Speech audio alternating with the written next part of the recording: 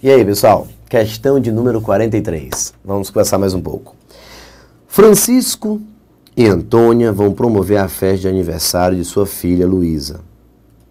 Para não errar na quantidade de alimentos e bebidas que devem providenciar, pesquisaram na internet e encontraram a seguinte sugestão: quantidade estimada para um adulto: bolo, 100 gramas, salgadinhos, 12 unidades, docinhos, 6 unidades, refrigerante, 600 mililitros.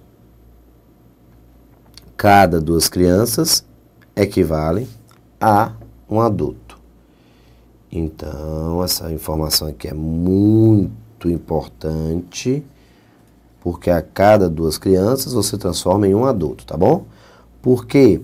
Porque o que ele me dá como referência para bolos, salgadinhos, docinhos e refrigerantes, o adulto.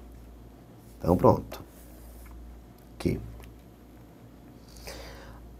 A festa será oferecida para 30 adultos e 20 crianças.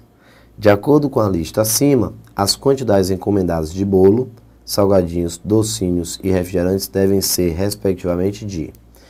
Ora, pessoal, para efeito de cálculo, eu vou substituir 20 crianças por 10 adultos.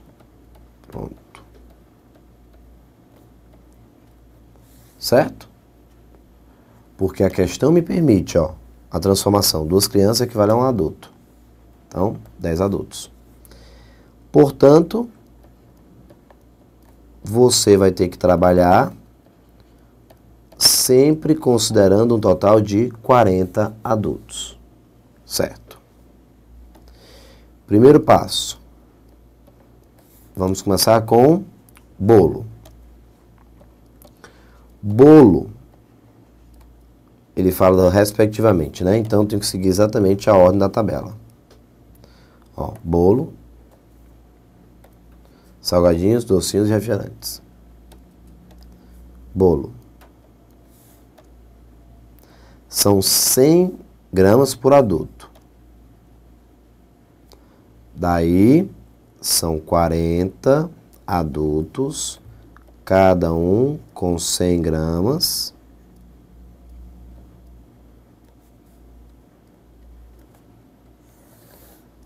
Ficamos, portanto, com 4 mil gramas, ou 4 quilos. Pronto. Rapidinho, ó. 40, 30 com mais 10, 100, então 4 mil gramas, 4 quilos. Segundo, bolo, agora salgadinhos.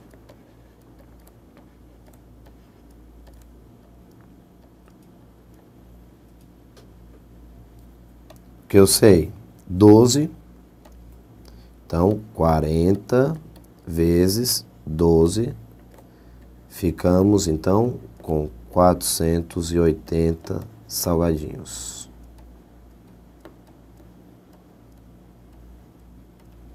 Pronto. 4 quilos, 480 salgadinhos. Terceiro. Docinhos. 40 vezes o que eu tenho como individual, 6. Então, 240.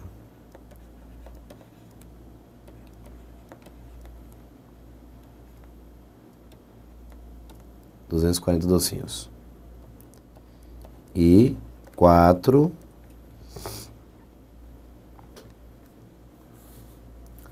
refrigerantes.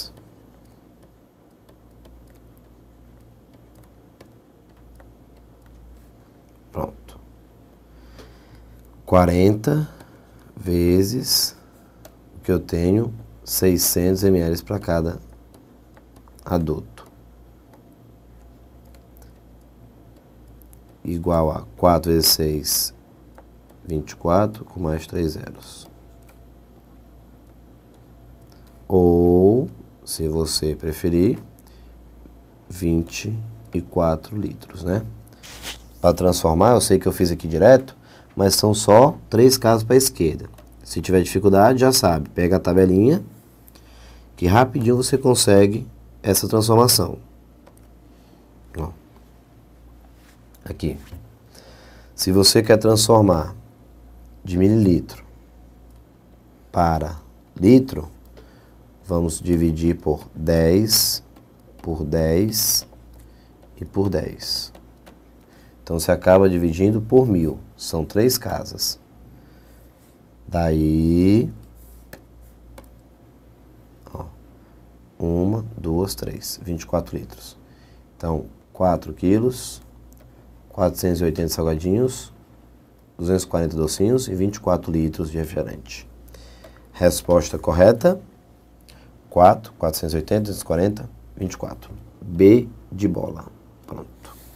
Resposta correta: B de bola. Questão 43. Perfeito. B de bola. Agora vamos à questão de número 44. 43 foi tranquila, rapidinho conseguimos desenrolar. 44. Sabe-se que a superfície de um piso de formato retangular foi revestida por 2.880 lajotas quadradas, todas com medida do lado igual a 25 centímetros.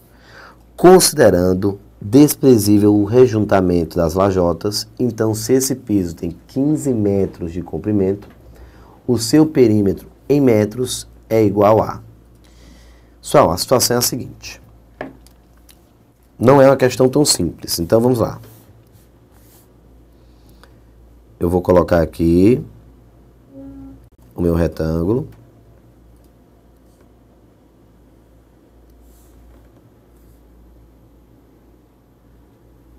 Fecha aqui. Essa é a sala.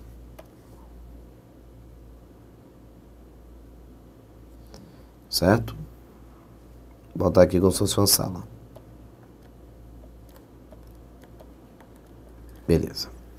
Essa sala, a questão já garante. Ela tem 15, 15 metros de comprimento. Eu não sei quanto ela tem de largura, vou botar L. Pronto. A área dessa sala, a área do piso dessa sala, tem que dar igual à área formada por todas as lajotas. Então, posso igualar, igualar as duas áreas? Posso. Está aqui, ó. Vamos lá. São 2.880 lajotas quadradas com lado igual a 25. Então, dá para descobrir a área total? Dá. A área total, preste atenção agora, todo mundo. Ó. A área total, esqueça o retângulo, esqueça. A área total vai ser 2.880 lajotas vezes o número 25 ao quadrado. Por que 25 ao quadrado? Porque as lajotas são quadradas. Se o quadradozinho que representa a lajota mede 25, 25, 25. Conclusão: a área de cada lajota, a área de cada lajota vai ser 25 vezes 25. Então, nesse caso, a área da lajota vai ser igual a quem? A 625. Certo? 625 Claro que nós estamos ainda trabalhando em centímetros quadrados. Então, centímetros quadrados. Pronto. Até aí, tudo bem. Beleza. Então, a área total vai ser 2.880 vezes 25 ao quadrado. No caso, 625 eu já calculei, já que é a área de um quadrado. Pronto, beleza. Essa é a área total. Só que a área total, já que a sala tem uma estrutura retangular, eu posso calcular essa área total também como 15 metros, que como eu estou trabalhando em centímetros quadrados do lado de lá, seria interessante trabalhar desse lado também com o lado de cada estrutura da sala em centímetros. Então vamos fazer o seguinte, no lugar de trabalhar com 15 metros, porque a questão me dá, ó, são 15 metros. No lugar de colocar 15 metros, eu vou colocar na verdade o quê? Mil e quinhentos centímetros. Melhorar aqui, botar mais para cá. Então, 15 metros, 1.500 centímetros. Já estou me sentindo à vontade para fazer essa transformação direto, mas ó, tá aqui, ó. Veja, se eu estou saindo de metro para centímetro, estou andando duas casas para a direita, ó. Duas casas para a direita, então estou multiplicando por 100. Foi o que eu fiz. Só fiz multiplicar por 100. Cadê você? Tá aqui, ó. Pronto. Multipliquei por 100.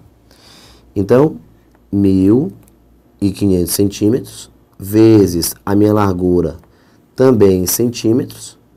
Fique claro isso, que já que eu estou usando para ficar centímetros quadrados, igual a 2.880 vezes 625.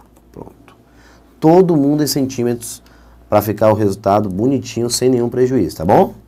Então, beleza. Calculei a área da lajota vezes 2.280, área total, que vai ser de 1.500 centímetros, vezes L.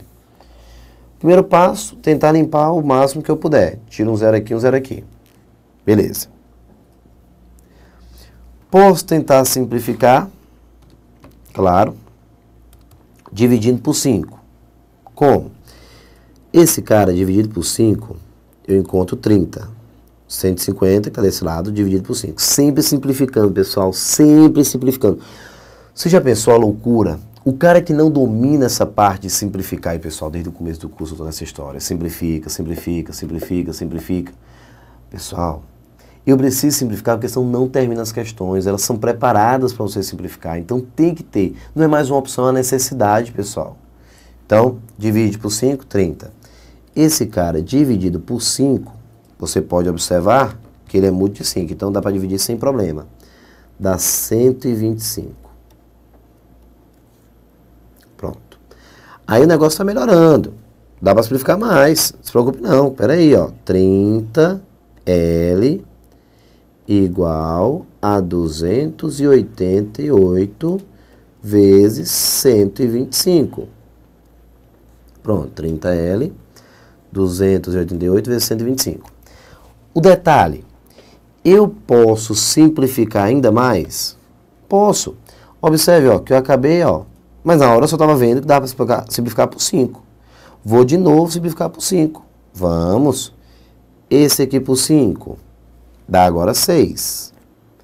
E esse aqui por 5 vai dar 25. Pronto. Estou dividindo os dois lados por 5. Tudo bem? 25. Ficamos, olha como está melhorando. Ficamos com 6L igual a 288 vezes 25. E aí, você acha que ainda vai, já vai multiplicar? Não. Esse número, ele é divisível por 6. Então, para que, que eu vou multiplicar 288 vezes 25 para dividir depois por 6, se eu posso dividir logo 288 por 6? E como é que eu sei que ele dá para dividir por 6? Porque ele é par, ou seja, é divisível por 2, e a soma dá 18, que é divisível por 3 todo número que é divisível por 2 e por 3, pessoal, todo número que é divisível por 2 e por 3 é divisível por 6. Então, por que não multiplica? O cara vai pegar 288 multiplicar por 25 para dividir por 6, não faz sentido. Divide logo, o número é menor, mais fácil, vamos lá. Então, dividindo agora 288 por 6, fica 1, porque eu dividi por 6 esse lado, e o 288 dividido por 6 dá 48.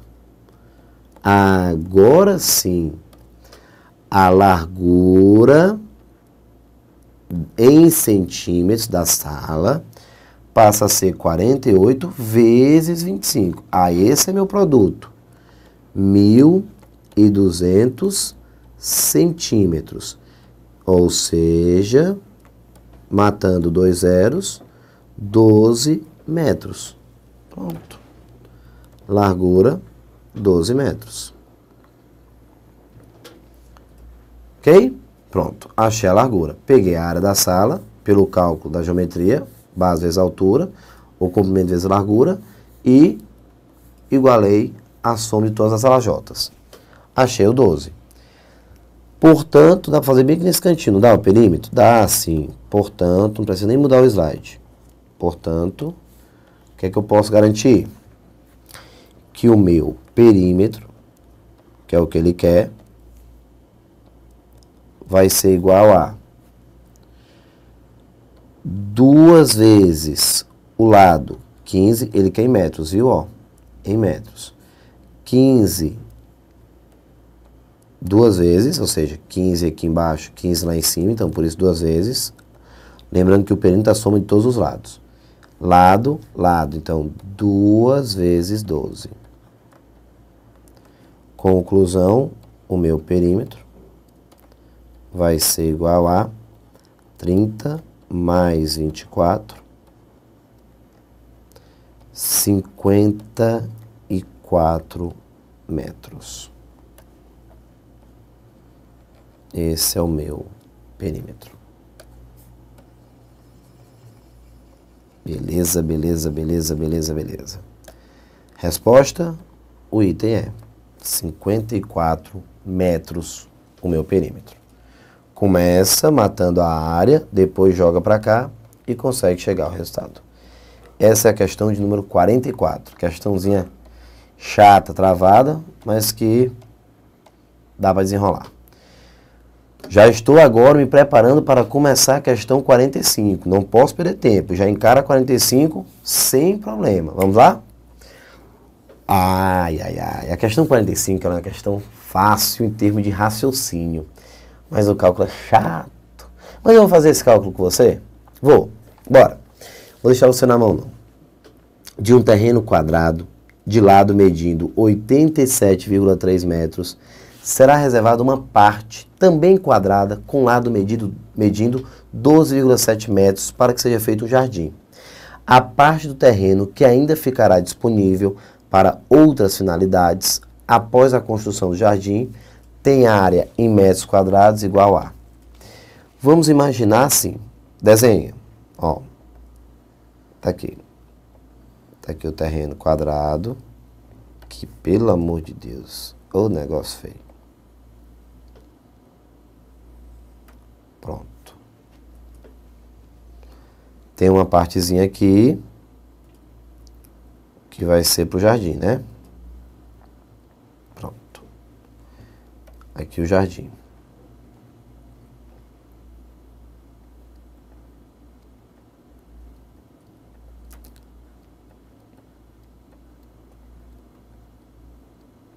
Beleza. Então vamos lá de um terreno quadrado de lado 87,3 metros. Então, 87,3 metros, 87,3 metros. O que aconteceu? será reservada uma parte também quadrada, com lado medindo 12,7 metros. Então, esse pedaço aqui, só esse pedacinho aqui, daqui para cá,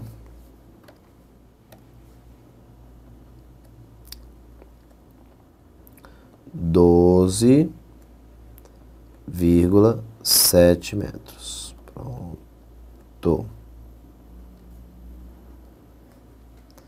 E esse pedaço aqui, puxa, 12,7 metros. Tá aqui, quadrado. Legal. Beleza, beleza, beleza. A estrutura maior, deixar o negócio aqui bem bonitinho. Pronto.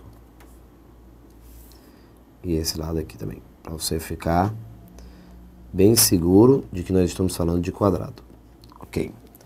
A área total menos a área do jardim. Acabou. É esse o resultado da questão. O problema, como eu te falei, a parte de cálculo, ó. Logo, finalizando. A parte do terreno que ainda ficará disponível para outras finalidades. Então, bota assim, ó. Área disponível, tá? Disponível. É, na realidade, a área total menos a área do jardim. J. Tá aqui, ó. Confere, você concorda? A área disponível, o que ele chama de área disponível? Essa daqui, ó. ó. Área disponível.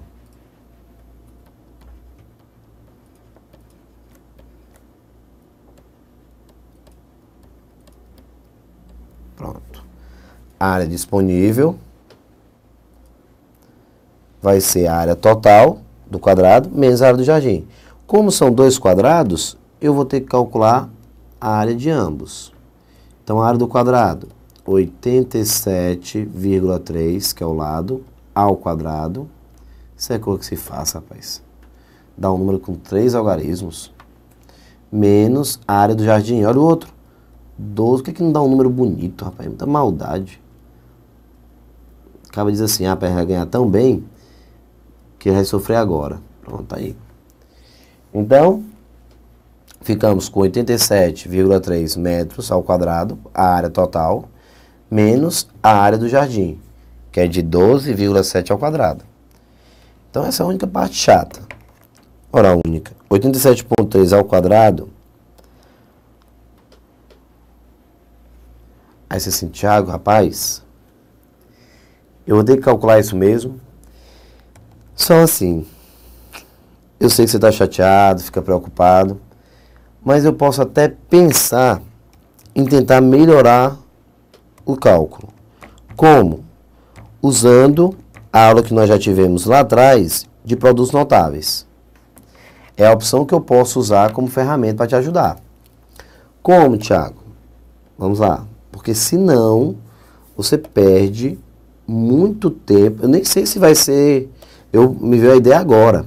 Explicando para vocês, eu tive a ideia de usar aqui produtos notáveis para ver se eu consigo melhorar o cálculo.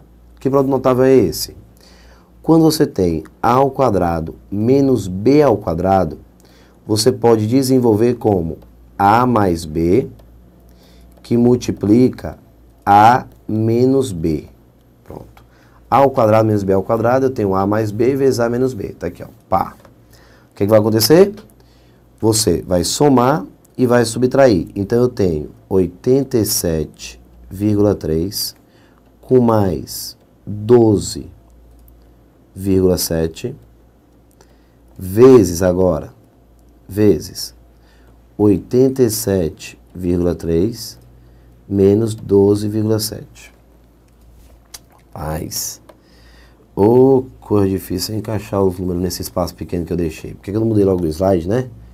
Mas vai dar, vai. Ah, se vai. Bora. 87,3 mais 12,7 pronto, vezes ó, A mais B, primeiro parênteses, segundo é a subtração, 87,3 menos 12,7. tá aí, deu certo. Quando você soma o 87,3 com mais 12,7, para sua surpresa, aparece o número 100, que vai ser multiplicado pela diferença. 87,3 menos 12,7, 74,6. Daí eu tenho a área disponível como sendo igual a 746 mais 2, 0. Então, duas casas. Uma vai para o 6 e a outra vai para o 0. Então, nós estamos falando de 7.460 metros quadrados. Com toda certeza, sem nenhuma dúvida, pessoal, eu posso garantir que o grupo que preparou essa questão, ele estava exigindo seu conhecimento em produtos notáveis. Com toda certeza. Olha o cálculo extremamente agradável para o camarada que observa produtos notáveis. Detalhe, quando eu comecei a questão, eu disse que o cálculo ia ser chato, lembra? Por quê? Porque eu estava preocupado, e aqui do lado, ó, a calculadorazinha. Para não perder tanto tempo, às vezes fazendo passo a passo, a não ser que seja um cálculo chato e tal. Então, quando eu coloquei na calculadora, eu não me preocupei em arranjar um artifício para facilitar o cálculo. Eu botei na calculadora, já sabia a resposta, beleza, não tinha problema. Só que eu fiquei pensando, poxa, meu irmão, o cara fazer isso na hora da prova vai ser uma loucura. Pegar o 87,3 ao quadrado e pegar o 12,7 ao quadrado, rola não. O cara vai pirar, velho. Vai endoidar. Aí eu disse, peraí, agora, resolvendo com vocês. Quando eu montei, eu digo, rapaz, produtos notáveis. A diferença de dois quadrados. Então, A ao quadrado menos B ao quadrado, fica A mais B vezes A menos B. Mostro o produto notável e uso. Quando eu uso, bufo, aparece a soma 100. Então morreu. É só deslocar a vírgula duas casas para a direita. E o resultado fica extremamente agradável. Então, pessoal, com certeza, ele estava exigindo o teu conhecimento em produtos notáveis, porque senão tu vai perder muito tempo calculando isso aqui. Mas legal, muito massa a sacada, muito legal a saída. Questão 45? Ok? Vamos para o próximo vídeo, a partir da 46. Um forte abraço, até mais!